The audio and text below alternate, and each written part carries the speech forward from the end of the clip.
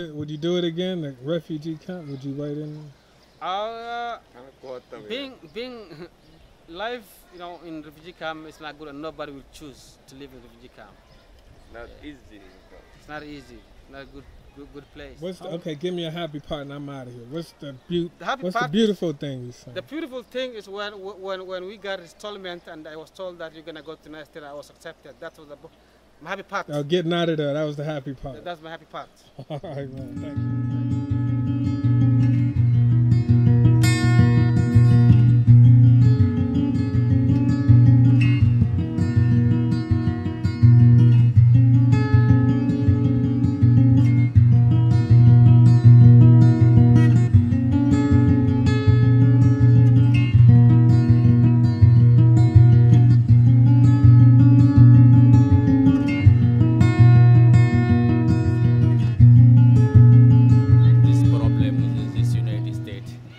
Problem? The gun violence. The gun violence, everybody have gun, can kill everybody he needed to kill him.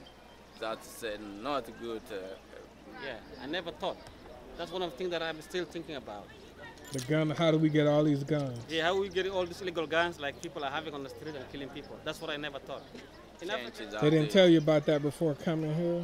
They didn't tell me that we, everybody can kill everybody in the United States. Guns are only allowed to have by the by the the people who are assigned. That's the cops. In Africa, everybody has it. That's why people are killing one another day and night. Disaster, starving. That's what caused in Africa the problem. And that's why one of the factors people are running away from Africa. Sick refugee to come to refugee to save themselves. And when I came over here, like my first day, it was to me like a paradise.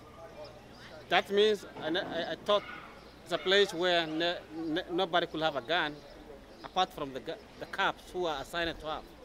But when you hear somebody dead, you, w- the area where you live is going to be a shock for you. Because where the violence happens, tomorrow that problem, we, also, I escape for myself too and for my children. That's why um, I'm shocked over it. And nobody, my uncle just explained to me how this happened when he opened the door, how he had seen this. Because he don't speak English. And the children were all frustrated inside the house, they couldn't even talk. Then the cops are all over the place, doing their own investigations. That's what I met. And having met, seeing the blood all over the place, that's what made me shock. Made me shock. If the guns, the illegal guns, are collected those who having the you know um, guns uh, make sure that the government collects those guns and anybody that found such actions should be in jail so that no problem can this happen in the area. That's what I expect.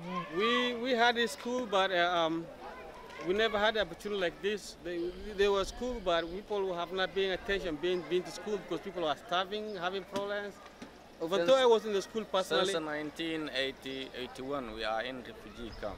We coming from our country at uh, 1981 mm, up to nine, uh, 2016 when I come in United States. Going in there. Oh, it's, there's no uh, physical fighting all the place. There's uh, cops, uh, police, or patrol in the area. But at night time, whatever ration that i- food that you are given uh, by, by the agencies is what people came to take away from the people by having their own guns.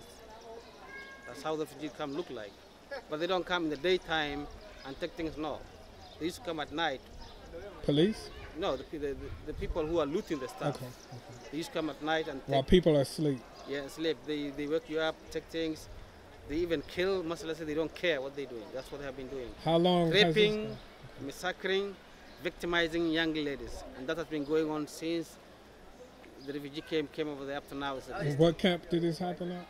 This is happening all over the camp. In Kenya, Okay. it's, it's happening because people are there as refugees. They don't know what's going on. The only thing we know is like, uh, according to the school curriculum, when the schools are having holiday a certain time, school closing, that's all I remember as holidays. And one of the things that's w- when you look at these people around here, they are all born January 1st. They're all born January 1st. That's because they are ignorant. These people have never been in school. They don't know even their birthday. That's why we all got January 1st, January 1st. When you look at most of the Somali Bantu live in Cleveland, when you look at their documentation, they are all born January 1st. That's how the registration has been made by UNHCR because they could not tell what year and what day they were born. One of the worst things I see in the camp, not actually when I was, when we left Somalia, between Somalia and Kenya and the, the border before we reach, I've seen uh, like people have been, run, run, yeah, people run away from Somalia to Kenya. That's where we were going as a refugee.